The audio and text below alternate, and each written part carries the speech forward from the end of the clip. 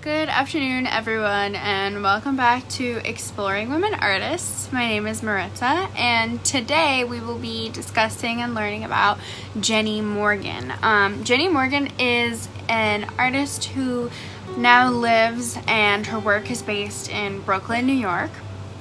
Um, and she immediately um, caught my attention because of the way that she contrasts um, really realistic portraits um, with abstract colors within her portraits. Um, so I'm going to show you a couple of examples of her her um, paintings. Um, she does paintings and um, she likes to do portraits from shoulders up mostly um, of herself or of her friends. she says that she needs to have a close relationship with the subject um, to really create her work and, and perfect her style.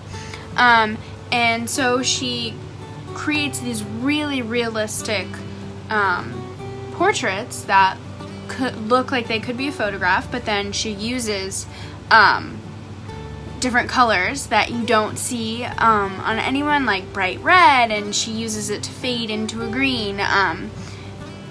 With um, her colors to shade them in so that um, and they create this this nice style that's very unique to Jenny Morgan herself. Um, here are a couple of examples. So as you can see, this is a painting, not a photograph, of this woman's face. It's very realistic. Like, if you look at her lips and her nose and, and her hand, it's all very realistic. But her, her hair is bright red and has no shadows.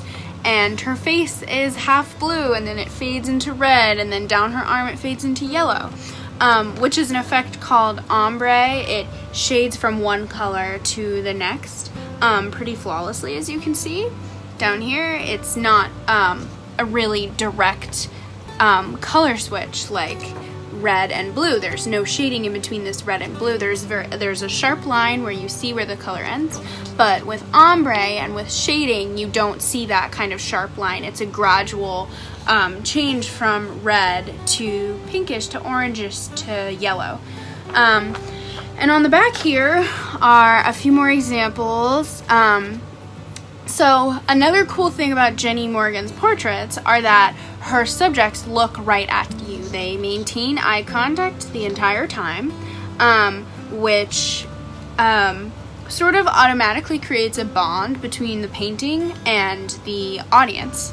Um, and they're sort of haunting, um, personally. I was immediately drawn to her paintings because of the expressions and, and the realism of her paintings. So as you can see, here's one here and down here. The handout for today is inspired by this painting right here. Um, but again, as you can see, they're very realistic paintings. She likes to um, paint from the shoulder up and use splashes of abstract color in her very realistic painting. So as you can see, her hand, the fingertips, they're sort of red and then they gradually go out into the colors of the rainbow and then the rest of her is gray. And down here, you know, as you can see, it starts from blue, goes down to green, yellow, red, um, and again, the painting is really realistic. So I thought um, her paintings were really cool, and so for today's project, inspired by Jenny Morgan, um, McKenna made a handout of an outline of one of her paintings, and I thought it would be fun to create your own ombre um, version of one of Jenny Morgan's paintings. So this is the handout, um, and this is the example that I made. So I decided to use red, uh, pink up here, red, orange, yellow, green, blue, dark blue, and purple to shade in the face, um, which I thought was really fun and I think it looks pretty cool and then I colored in her hair gray and left the background white um, because a lot of her backgrounds are solid. Um, but feel free to add anything in the background you, um, as you like. But since Jenny Morgan is so good at using ombre within her paintings, um, or the gradual shading from one color to the next, um, I encourage everyone to use that um, on their own handouts.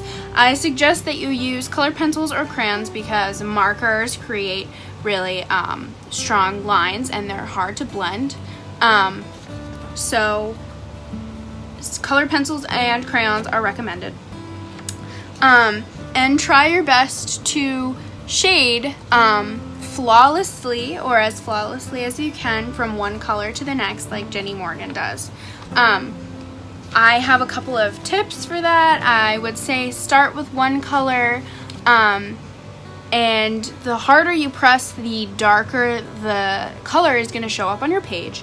So um, when you press really hard you want it to um, be really obvious and bold and and then you can um, slowly release pressure from the crayon or the color pencil and um, shade into lighter and then you can use a different color and overlap as much as you can um, and that will help you create this um, gradual effect and um, use this with as many colors as you like um, you can do it on her face like I did. You can do it in her hair.